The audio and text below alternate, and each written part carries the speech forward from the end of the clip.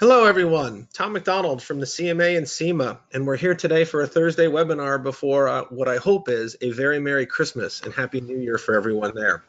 Um, today, we're incredibly lucky because we have the combination of the Advantage Group and Meijer talking about uh, things that are very important for us in the category management world.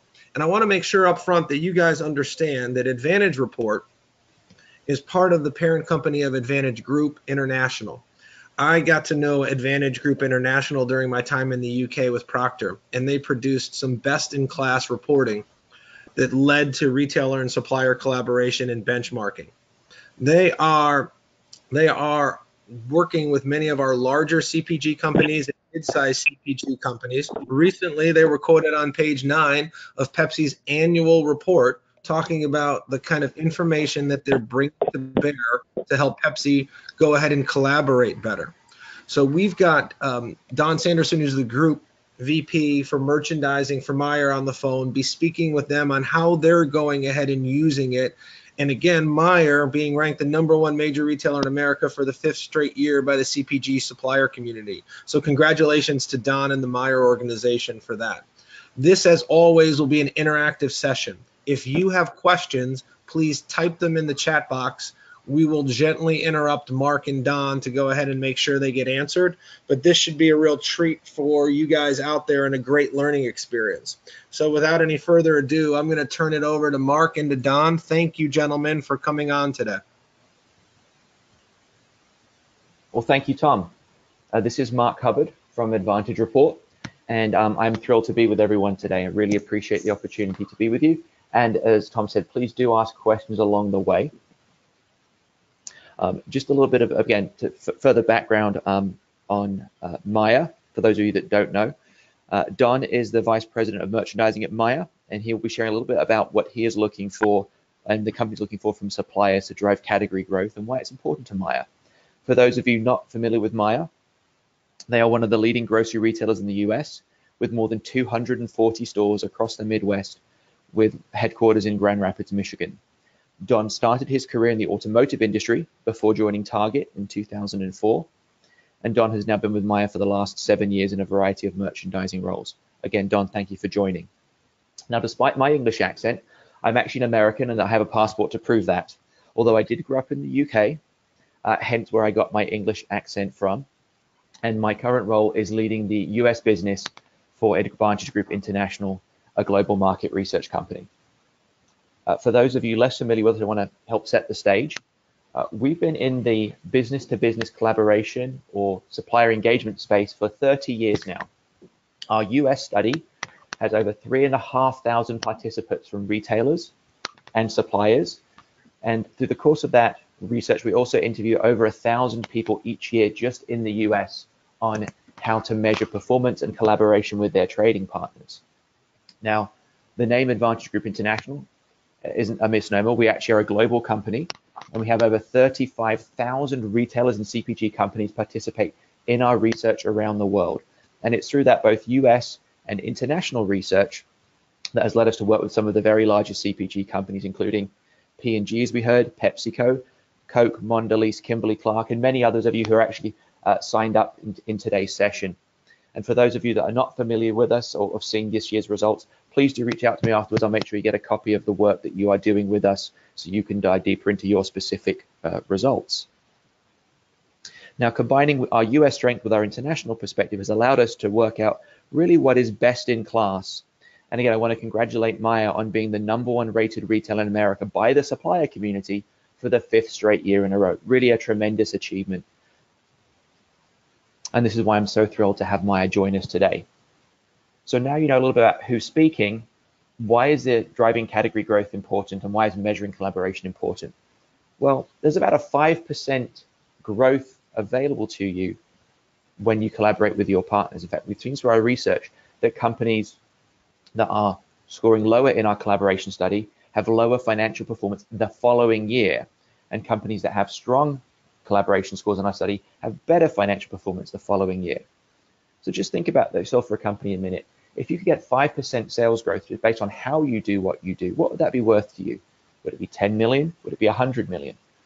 Well, I bet it's a lot. And so understanding how you can drive growth with your retailer, how you can partner with your retailer, we believe is fundamental to your overall business success. Hence the topic today around driving category growth with retailers.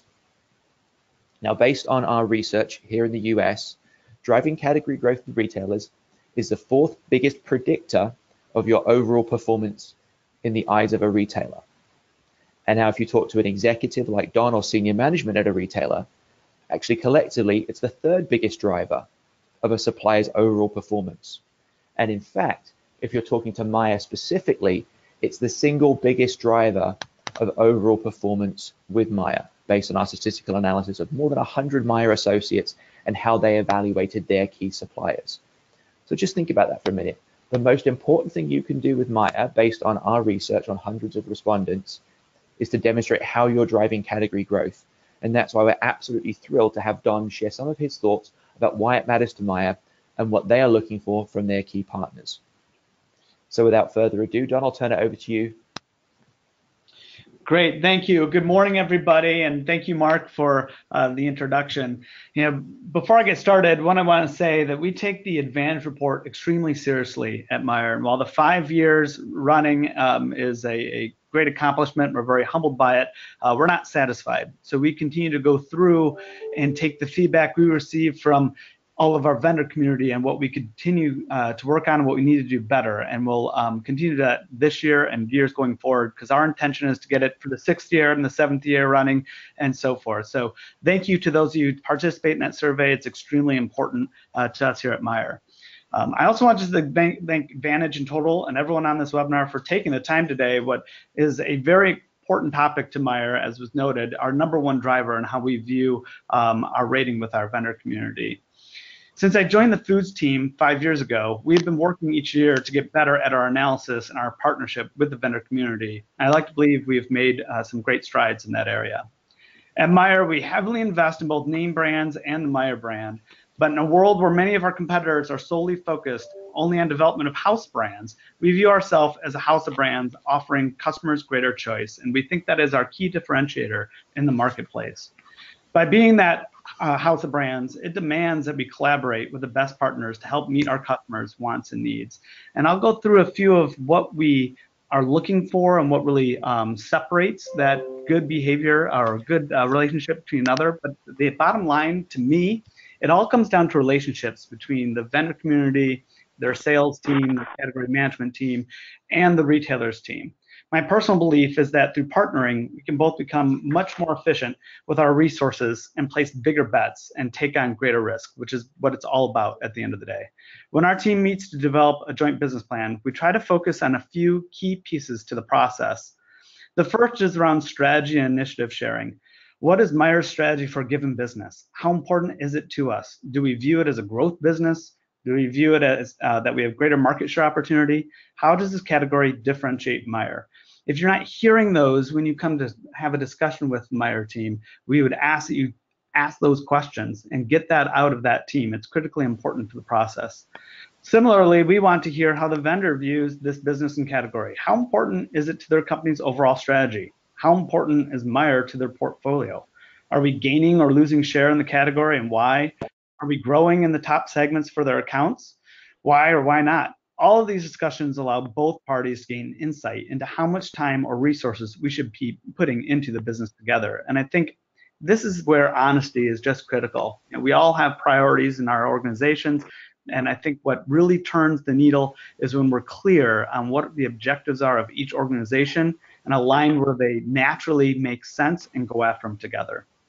The second big piece is around insights, and I think this is probably one of the most critical pieces. Our team is a very small team at Meijer relative to some of the larger players um, in the space that we compete. We work tirelessly to understand their business, um, and we also really benefit from our partners' expertise. We want to better understand what is trending in the categories and why. Where do you see opportunities for us, for Meijer to grow, not just in your business, but in the total category? When you come meet with the Meijer team, what we're first interested in hearing is what's going on in the industry, what's going on in the business, how are we performing in the total category, not just simply with uh, the items that you may be supplying us that in that day. what does best in class performance in this category really look like? And I think you know many times um, we hear areas where the benchmark, but we tend to also really want to know our warts and what we can go tackle to get better. The last piece is really about taking action, and this is an area I'll tell you candidly that um, I'm pushing my team and at Meijer we're pushing the total team to get better at. I think we're good, but we want to be great at this third piece because this is where it all comes together. Align where our mutual interests and strategies intersect, and just go. Sometimes these insights lead to decisions that are simply about a particular company's brand, um, but about greater actions that drive an entire category, such as a full-scale reinvention. And I think it's these big ideas that really tend to get us excited um, and really wanted to go after things. So come with your insights and come with some big blockbuster ideas. We we might not say yes to all of them, but you never know where a test may lead and which ones make sense for us to both go after finally, I wanted to wrap up just by sharing a few tips on how to maximize your time when you meet with Meijer and the buying team. As I mentioned, um, we're a small team, right? And we focus very heavily on growth and innovation. Our intention is to be one of the top accounts for all our vendor partners that we do business with, and we want to drive growth in our in the categories where we participate in. So I'd recommend that first you visit the stores. You know, if you're new to Meijer or if you have new team members that have joined, um, our format is unlike many of the others that we compete in. We are a food-led supercenter versus some of the other uh, competition that it leads with GM and then uses food to drive that traffic in. We are a food-led supercenter, and it makes our format a little more unique. Get a list of our, our different prototypes, and if possible, get out to them um, before you come in be honest. We like to hear the good and the bad opportunities. We are, um, you know, we don't get better if we don't understand uh, where our, our weaknesses are, and so we want to really hear them. Be efficient. We don't have a large team, as I mentioned, and we are a fairly flat organization. Our buyers make the majority of the decisions uh, in this in this company. And so, uh, making sure you're building relationship foundationally with the buyer and the buying team is critical, um, and making sure that you're efficient with that time. Um, sharing stuff that can be done in four hours that could actually be done in one is is not efficient for us or for yourselves. And we really greatly appreciate it when people recognize how limited uh, our team and our team's time is, and make sure they come in with what's the agenda what are we all trying to accomplish that day? And what are we both hoping to walk out at the end of the day so we can be efficient with the conversation? Um, the last I'd share is really about being early in the process. Our timelines, while we are a small company, maybe relative to the space, uh, are, are no different. We have very long timelines in terms of how we build out different business models. There are many times nine months out when we're trying to talk about different promotional activity or things we want to go after. So coming in with ideas that are looking forward is really critical. If you have something you know you want to do maybe in the next year or 10 or 12 months, having that peek behind that curtain, sharing where you're going and your innovation upstream so we can be part of that dialogue really helps ensure that we can both maximize the potential and not skip a beat or not potentially miss something uh, simply because we were too late to the party. None of this is possible though without a strong partnership and trust. And uh, as a small team, we deeply value the relationships that we build between our company and the others, and they're critical to our success. And I, as I started in the beginning, to me, it's all about relationships. So thank you, everybody, and I'll turn it back over to Mark. Don, thank you so much for sharing. And were there any questions from the audience at this time? Yeah, Mark, there's a couple there's a couple questions, and I'll go ahead and read them off so that uh, Don can go ahead and answer them. Uh, the first question is, what is the biggest mistake that you see manufacturers make calling on Meijer? The biggest mistake, um, you know, I would say, and it sounds kind of odd, but we, we do see it quite a bit, is just not being prepared, right? Is coming in and not understanding our business, um, not having been in our stores. And I get we're all time crunched. Um, but uh, sometimes we have people come in and they they have new people on the team and they're pitching an idea or a full scale change without understanding fundamentally what's our format, what our initiatives are. Um, taking the time to ask us what are you looking to achieve because it, it might be a category that quite frankly we might look at and say hey it's important, but this isn't an area where we're driving growth. Um, and you're spending a lot of time and resources and energy uh, focused in the area that is not going to yield a lot of benefit for you. So I think it's one being prepared, and part of that preparation is um, making sure that you understand upfront from the Meijer team um, what are you trying to achieve and, and what areas really matter to you. Great answer, thanks. The second question uh, is literally talking about: Do you feel manufacturers uh, you you mentioned before being very clear, being very concise. We've heard from a lot of retailers over surveys we've done over the last six months that that man, the manufacturers are PowerPointing retailers to death. Too many slides, too much nice information. Do you see the same thing in the calls that you're sitting in at Meijer? Yes, I do. Yeah, I think that's kind of where I mentioned, uh, you know, don't take four hours to do what could accomplish in one, right? I think a lot of times it's great to have the detail.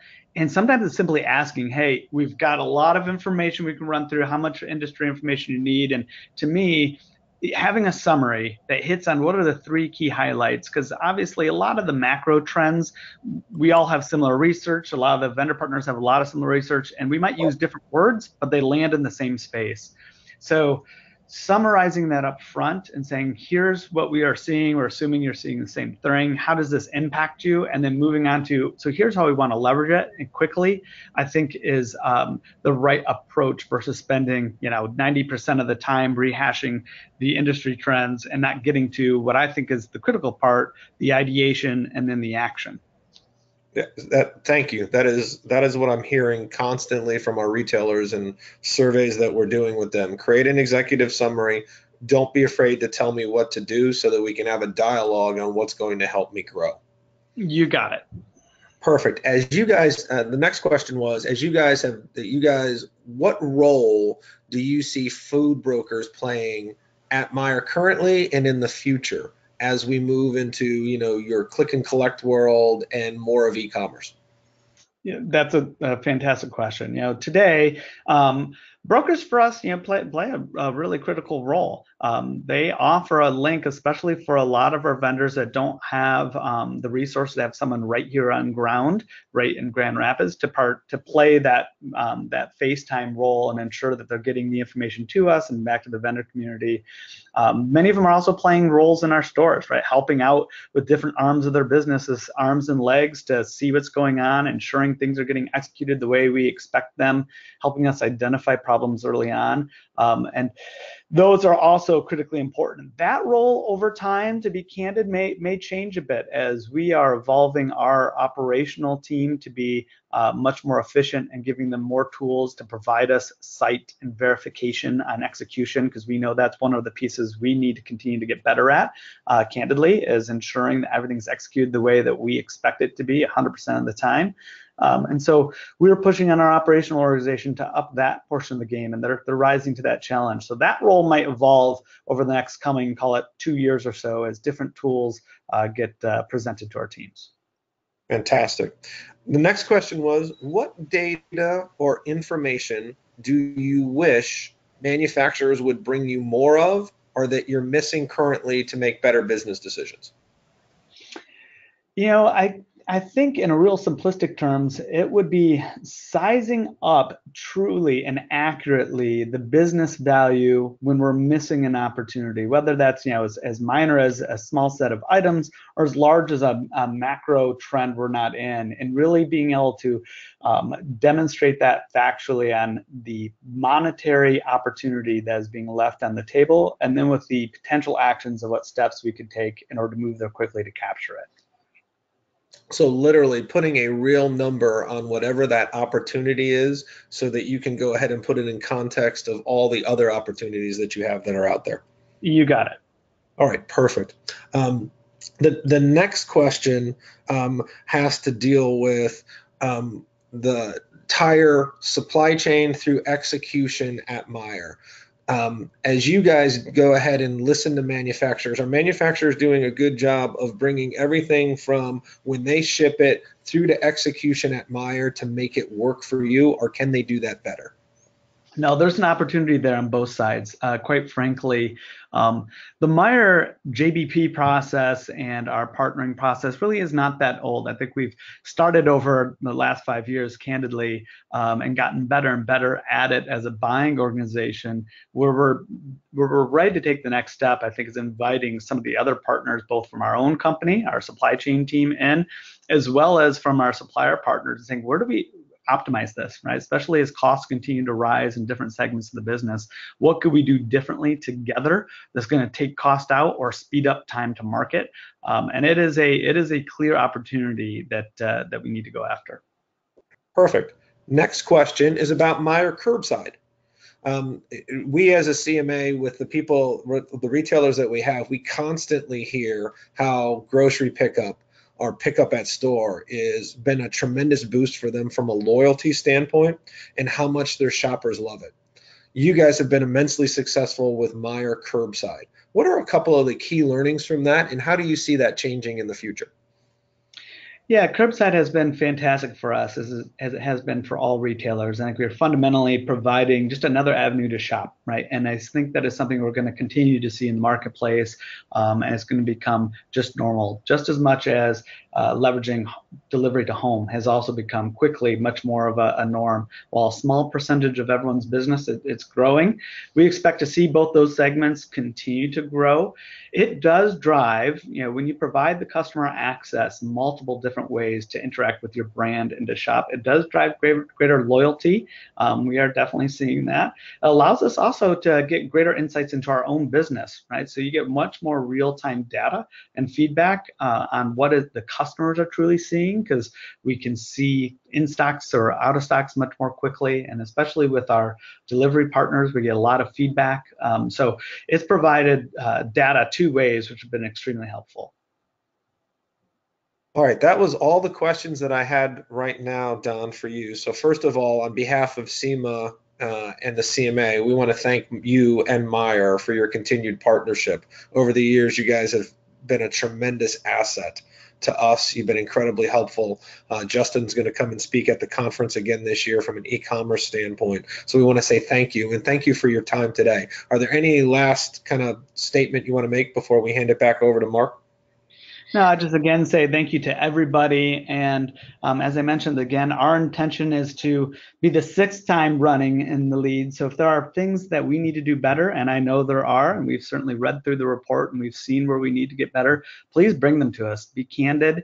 Um, you can share them directly with our team, or you know, if you work directly with myself or with Amanda McVeigh, who runs the grocery side of the business, uh, sharing those insights and where we're not maybe um, as strong as we ought to be is critical to our success, and we want to hear it. So thank you, everyone, and have a fantastic morning.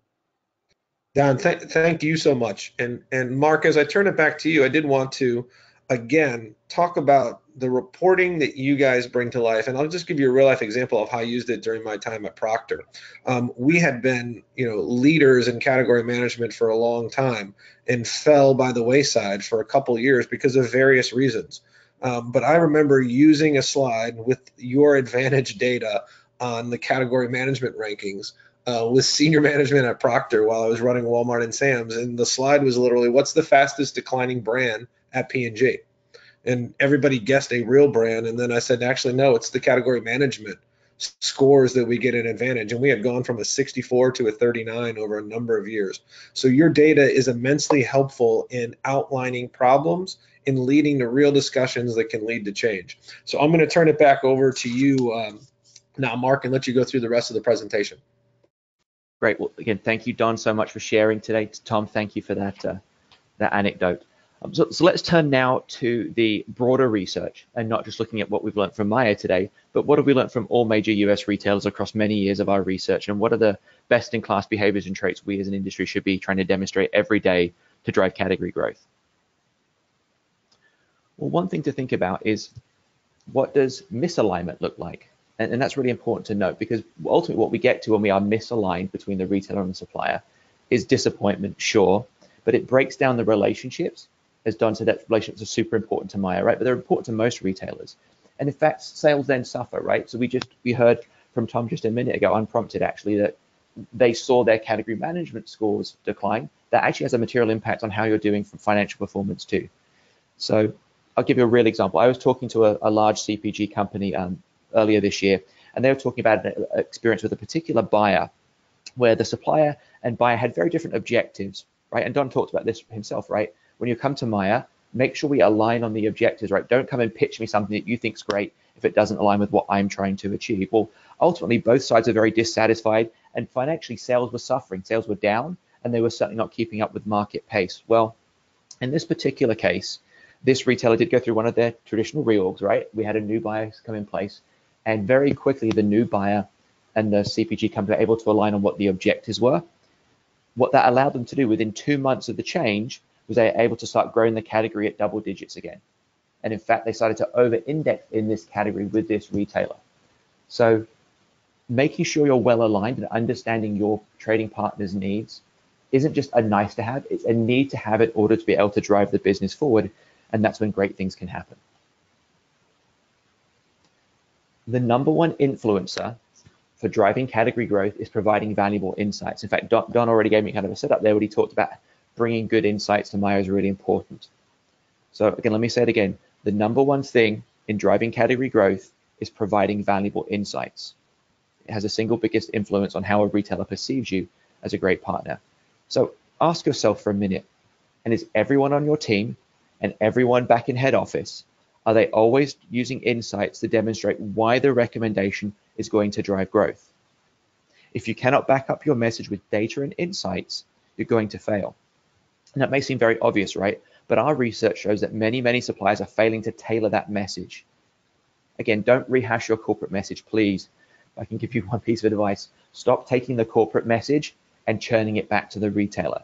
You have to reframe that corporate message in the needs of the retailer. What about their shoppers, their objectives, right? Otherwise, you're not delivering valuable insights, and in fact, you're not actually delivering any insights at all. But don't take my word for it. Let's see what retailers say themselves about um, partners that are delivering valuable insights. So these are real quotes from retailers talking about their very best in class suppliers. I'll let you read the comments yourselves.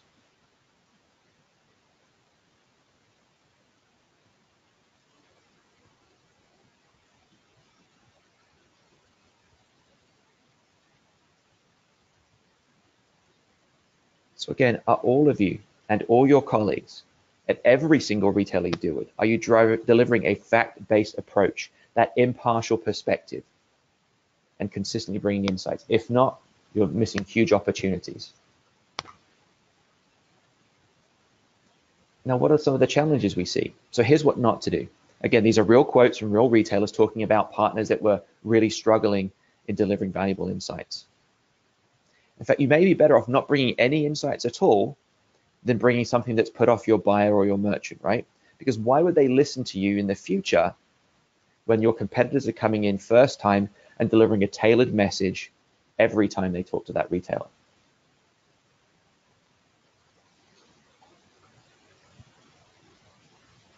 Okay. Now we've heard about impressions, everything, right? First impressions uh, are what count. Well, impressions really are everything. And so how your retailer sees you is heavily impacted by how easy or difficult you are to work with. In fact, proactivity and objectivity are key things that we find when we unpack the providing insights. So it's not just coming in with new market research insights, right? That in itself is interesting, but have you tailored that to be proactive in terms of driving something new versus just following what everyone's been talking about for six months or six years? And again, are you showing objectivity in that? Again, are you over promoting your brand because the, the buyer is not going to listen when you do that. You have to bring objectivity with the insights to demonstrate why it's a valuable insight and why it's going to help that retailer drive. And proactivity is a real key. In fact, something we, we specifically measure within our, our research. Across more than 300 suppliers, we actually benchmark how proactive you are perceived by your retail partners. And in fact, if you're talking to someone like a Don, right, an executive or senior management at a grocery mass club or value retailer, it's the single biggest driver of performance with them. So again, when you're talking to very senior executives, they're looking for proactiveness from their, their key partners. Because those very best suppliers that you're competing against for time, attention, shelf space, they're not sitting back passively, right? They are actively leaning forward, leaning in to show the retailers why they should continue to invest with that supplier over anybody else. Now, there are six best-in-class competencies we've learned from, that. again, our year's worth of research that have, uh, drive overall uh, performance in driving category growth. So let's look at some of those right now and really ask yourself, are you demonstrating these behaviors each and every time you meet with your retailer?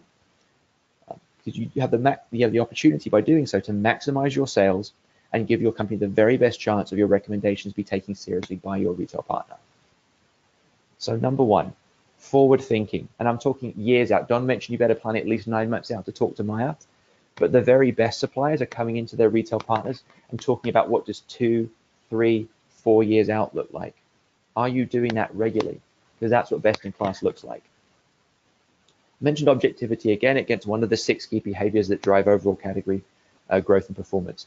Are you bringing a truly objective measure? Because if not, your buyer is going to tune out and they're going to tune out for you every other meeting going forward. If you cannot bring an objective objective message, maybe don't bring a message at all. Understand your retailer. Don talked about it. It is absolutely true. We see that not just with Meijer, but with all the retailers we work with. If you don't understand your retailer, and that means have you walked their floor, have you shopped their website? Do you understand what their objectives are for the category? Well, that category may be important to you. It may not be their number one driver.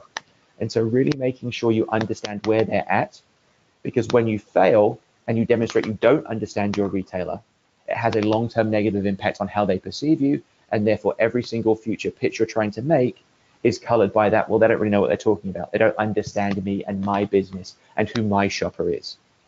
Again, it may seem so obvious, but it's amazing how we see supplier after supplier failing to fully demonstrate you understand your unique retailer. Now, the next competency is using data. It's absolutely critical to come in not with your personal opinion, but with some form of data set to demonstrate why this is a true, uh, true insight, a true value proposition. Uh, Don talked about it right again in his piece. When you go in, you know, value the size of the prize. Don't say, oh, here's an interesting trend, here's an interesting trend, and I think it could be worth X dollars, right? If you can use data and put a value around it, it becomes a much more appealing message. And again, very best in class suppliers are doing this right now and every day and have been for a while. Also, what's critically important is having highly skilled analysts. Again, we're all looking for, you know, obviously data scientists at a more senior level, but everyone needs to be comfortable with analyzing data and talking about data because the very best suppliers, the ones that are driving the business faster, are coming with very good analytics and insights. So now we've learned about these competencies. What do they really mean? How does a retailer describe a supplier that is forward thinking? So let's look at some interview comments to give you real examples of what you should be looking to demonstrate and emulate. Oh, I forgot one more. Turning insights into action, right? Ultimately, again, putting a value around it, driving forward with a recommendation. So competency one, forward thinking. I'll let you read the slide.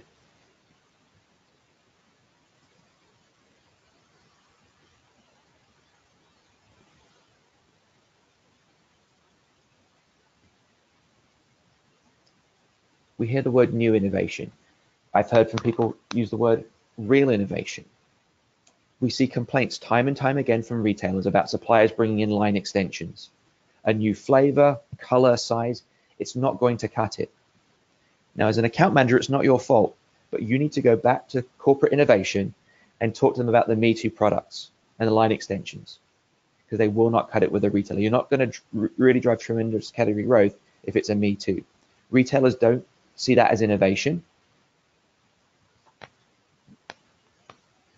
Competency two, about demonstrating an objectivity or an unbiased approach. Again, if you fail to be see, if you fail to be perceived as objective, your recommendations are going to fall on deaf ears. Now, don't let all your hard work fall short in the last hurdle by giving the retailer the impression that you are self-serving. Suppliers that are perceived as being unbiased have the greatest chance of their ideas and recommendations being accepted, which of course is what you want. Let me put it another this way, very harshly. Nobody cares about you. Right, I said it. Nobody cares about you. They care about what you can do for them. So if you reframe your message in terms of how it's going to help that company, that buyer, right, you're off to a winning argument. So again, really ask yourself every time you're going in about what's in it for them, or are you trying to position it what's in it for you? The third competency is about, again, understanding the business. And I've already said about no one cares about you, but have you positioned your ideas around the retailer's objective? If not, you're doomed to fail. Are you taking your company's objectives and reframing and applying them through that retailer's lens? And this is how one retailer described it. But ask yourself, are we always making that connection? Are we always aligning to our retailer's objectives or are we sending the corporate line?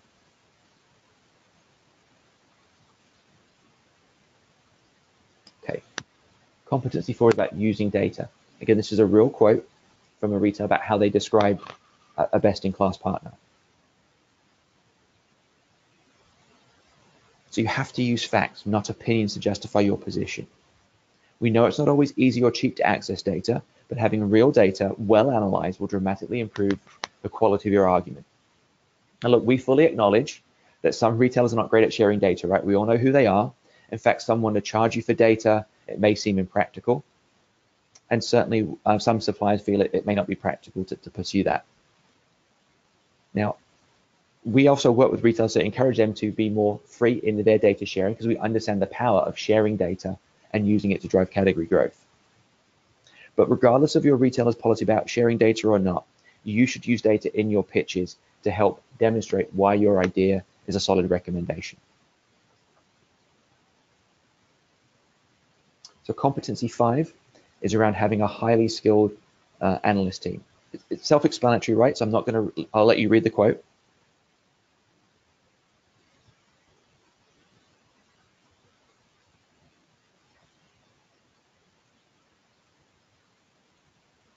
Notice the word take initiative here. Are you being proactive? Are you putting the right resources against the account? Think about it for a minute. If we could raise the bar by 2% with our particular customer, what would that be worth to us? And should we therefore be considering applying a different set of resources to justify further growth?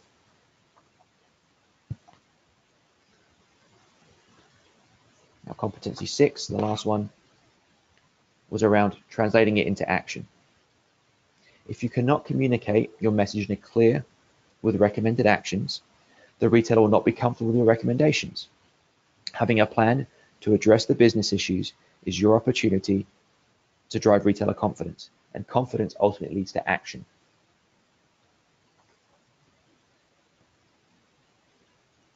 So, how do we align on the category objectives? Well, these six behaviors may seem very simple and obvious, but I can tell you they're not because our research shows most companies are not excelling in this space. In fact, most companies are, are barely making meaning the bare minimum. So ask yourself, are we doing this all the time with all our retailers? Now, how do you measure yourself against your competitors?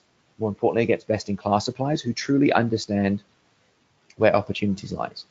Are you hearing back from one person uh, when you get feedback, or you're hearing from multiple people? Look, I often hear from suppliers who say, my retailer says I'm doing fine. Well, what does fine mean? Let me break that down. Fine probably means you're average. So ask yourself, do you want to be average? I bet you don't. In fact, fine may mean you're running 100 miles an hour, but if your competition is running 101, you're still last. Now, what advantage is seen through our research in the US and around the world, again, is that higher scores in collaboration can achieve about a 5% better sales performance in the following year, i.e. we're a predictive measure of performance based on how you perform. Now, on a case-by-case basis, we have seen suppliers achieve double-digit sales performance based on taking um, addressable feedback and moving the needle forward from being average to excelling.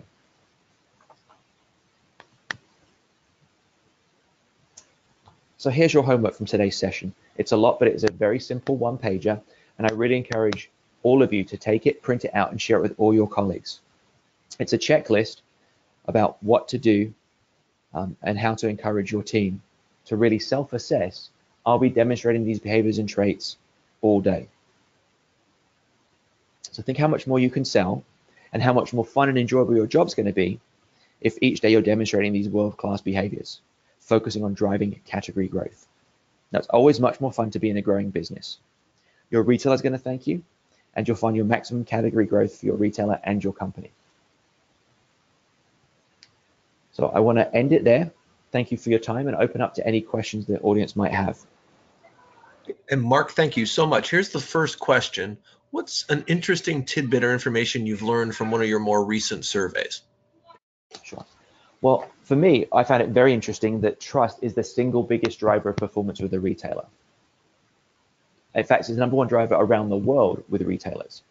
And trust may seem somewhat obvious, right? Of course, they must trust order to work with us. But how many of you today are actually measuring trust? Well, you know, we are, but most of you probably don't even measure trust. It's probably not one of your KPIs, right? Today you might have KPIs around delivery on time or what is your sales report, but are you measuring trust? It's absolutely fundamental and foundational to your relationships and how you can sell them to a retailer. And there are various behaviors and steps that go underneath that that drive trust. That's a whole separate presentation I won't be able to get into today, but um, that's the single biggest learning for me is is measuring and building trust is absolutely critical. Perfect. From the survey, what are the important areas to focus on in 2019 from your retailers? we you know, driving category growth is, is absolutely critical. If we look at kind of bigger picture, it's things we already know about, right? E-commerce clearly continues to be critical for suppliers and retailers. Profitable e-commerce growth is kind of, I think, the new is going to be the new catchphrase, right? We don't just want to grow in e-commerce; we actually want to make money or at least break even. And my advice is look at markets like the UK or China. They're really at the forefront of e-commerce, particularly grocery e-commerce. If you think about what Kroger's doing right now with Ocado, there's a conscious reason why they're partnering with those guys their technology is is very impressive.